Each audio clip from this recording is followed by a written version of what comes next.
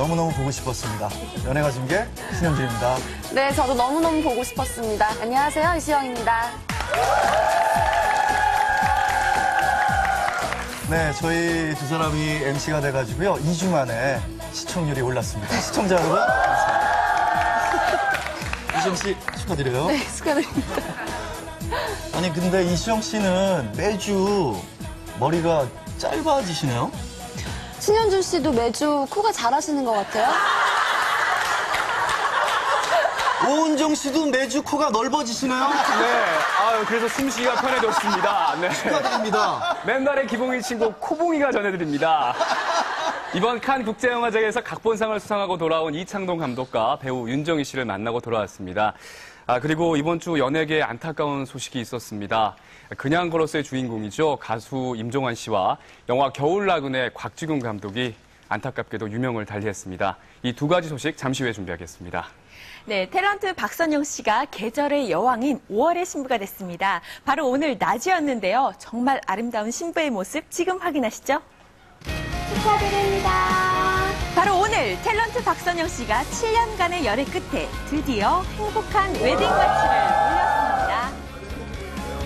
결혼식 전 우아한 순백의 웨딩드레스를 입고 카메라 앞에 선 5월의 신부 박선영 씨. 오늘따라 웃는 모습이 더욱 아름다운데요. 결혼을 앞두고 설렌 행복한 소감을 수줍게 고백합니다. 드라마 하면서 많이 입었었는데요. 웨딩드레스가 이렇게 예쁜지 처음 알았어요. 막상 제 걸 고르니까 너무 예쁘고 제 거 입으니까 너무 좋아요. 웨딩드레스 입은 모습 보고 신랑분이 뭐라 그러시던가요? 아, 예쁘다. 네, 정말 여신이 따로 없습니다. 2003년 지인의 소개로 처음 만나 오랜 열애 끝에 드디어 사랑의 결실을 맺는 박선영 씨. 박선영 씨의 마음을 사로잡은 예비 신랑 소개 좀 해주세요. 저희 신랑 공무원이고요. 예, 저하고 한 7년쯤 전에 지인을 소개로 만나서 오랫동안 연애를 하다가 이제 결혼을 하게 됐고요. 공항에서 맨날 울면서 헤어졌던 기억이 많이 나거든요. 근데 이제 더 이상 헤어지지 않아서 너무 좋아요. 조언해줄 게 별로 없네요. 이제 저도 살림 좀 해야 되고. 오랫동안 예쁘게 연애 잘 한 만큼 결혼 생활도 아주 오래오래 행복하게 잘 하길 바랍니다. 오늘 외교관 필이에요. 외교관 필이에요. 앞으로도 정말 잘 살 것 같아요. 아들딸 낳고 잘 살길 바랄게 축하해. 네, 박선영 씨. 잘 사세요. 아, 첫 키스는 너무 오래돼서 잘 기억이 안 나고요. 어, 첫 키스는 자연스럽게 했던 것 같아요. 그냥 산책하면서 강변에서 데이트하다가 한 것 같고요. 마지막 키스는 뭐 오늘 아침에 한 것 같은데? 아, 그냥 뽀뽀. 우리 잘하자. 예, 오빠는 저, 저희가 좀 나이가 있잖아요. 조금 그런데 오빠는 저보고 토끼라고 하고요. 토끼처럼 귀엽다고. 토끼라고 하고요. 그리고 저는 이제 그냥 돼지야 돼지야 그러는데 지금은 그냥 오빠 그리고 자기야 뭐 이런 불러요. 결혼해서 우리 행복하게 잘 살자. 사랑해. 돼지야 사랑해. 저 박선영이 드디어 오늘 결혼을 하게 됩니다. 행복하고 모범적인 가정 꾸리도록 할 테니까요. 앞으로 더 많은 관심과 사랑 부탁드립니다. 예, 감사합니다. 박선영 씨 결혼 축하드리고요. 행복하세요. 지난 27일 한국 멜로 영화의 거장 곽주균 감독의 연결식이 슬픔 속에 엄수됐습니다. 지난 25일 대전의 자택에서 숨진 채 발견된 고인. 갑작스러운 그의 사망 소식에 영화계는 큰 충격과 슬픔에 빠졌습니다. 할 말이 없지 뭐. 1986년 영화 겨울나그네로 감독을 데뷔해 그의 대종산 신인 감독상을 받으며 한국 영화의 기대주로 급부상한 고 곽주균 감독. 이후 영화 젊은 날의 초상, 기품, 슬픔 등을 연출하며 고인은 1980, 90년대 한국 멜로 영화사에 큰 획을 그었습니다. 이제는 그의 유작이 된 영화 사랑해도? 괜찮아의 흥행 실패 후 더 이상. 메가폰을 잡지 못한 고인. 내가 한때는 흥행 감독, 스타 감독이었지만 서서히 잊혀져가는 현실에 고인은 힘들어했다고 합니다. 사망한 지 보름 만에 발견돼 더욱 충격과 안타까움이 더한 그의 죽음. 한평생 영화만을 사랑했던 그의 죽음에 영화인들은 비통함을 감추지 못했습니다. 비보를 듣고 달려온 강수연 씨. 굳은 표정으로 빈소로 들어선 그녀는 연신 눈물만 흘렸습니다. 예전부터 참 이렇게 내성적이었죠.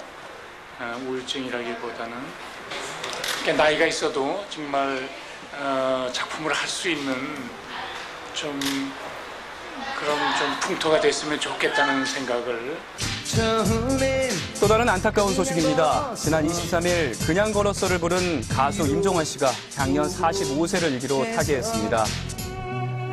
1990년대 말 이민을 간 후 2008년에 귀국해 지난해 10여 년 만에 싱글 음반 사랑이 간다를 발표했던 가수 임종환 씨. 그러나 올해 초 직장암 말기 판정을 받고 힘든 투병 생활을 해 더욱 안타까움을 더했는데요. 삼가 고인의 명복을 빕니다.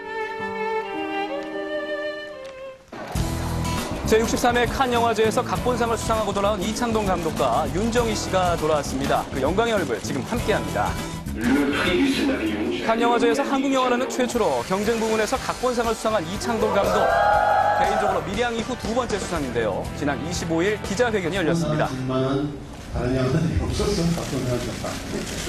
농담도 잘하시네요.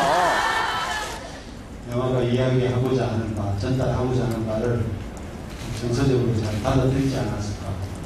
그 세계적으로 최고의 영화 페스티벌에 참석하는 우리 영화가 노미네이트 했다는 것만으로도 행복하고요.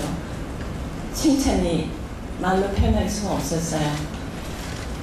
이러한 평을 듣는 것만으로도 저는 행복하다고 느낍니다. 영화 시는 칸 영화제 기간 동안 세계 9개국에 판매되고 10월 미국 개봉과 함께 아카데미 최우수 외국어상에 도전하게 됐는데요. 꽤 오랜 시간 동안 더 계속할 수 있다면 80, 90 그런 나이 되셨을 때 다시 만날 수 있다면 얼마나 좋을까. 너무 반가운 소리다. 그, 제가 90살까지 영화 배우 하는 게 내 소원이고 나의 꿈인데 얼마나 고마운 얘기예요. 감사합니다. 제 자신의 지금 갖고 있는 작품에 대한 저의 평가나 엄격함이 어, 그대로 계속 유지됐으면 정말 자랑스럽네요. 다시 한번 칸 영화제 각본상 수상을 축하합니다. 이창동 감독님은 영화 밀양 이후 두 번째로 칸에서 수상을 한 셈이죠. 어, 올 가을에는 미국에서도 개봉될 예정이라고 합니다. 그리고 고인이 되신 곽지금 감독님. 젊은 날의 조상, 걸어서 하늘까지 네, 수없이 많은 작품을 남기셨는데요. 최근에는 일할 작품이 없으셔서 우울증에 빠지셨다는 얘기를 들었습니다. 얼마나 힘드셨을지 가슴이 아픕니다. 삼가 고인의 명복을 빕니다. 자, 이번에는 분위기 좀 바꿔볼까요? 선우 씨. 네, 예전에는 눈 깜빡하면 변하는 게 세월이라고 했었는데요. 요즘에 눈 깜빡하면 변하는 것이 가요계입니다. 그만큼 가요계에서 1위 자리를 지키기가 어렵다는 얘기인데요. 빠르게 변화하고 있는 가요 시장에 대해 집중 분석해봤습니다. 아, 그건 맞는 것 같아요. 저는 이 최신곡이라고 들었는데 주변에서 이렇게 물어보면 벌써 유행이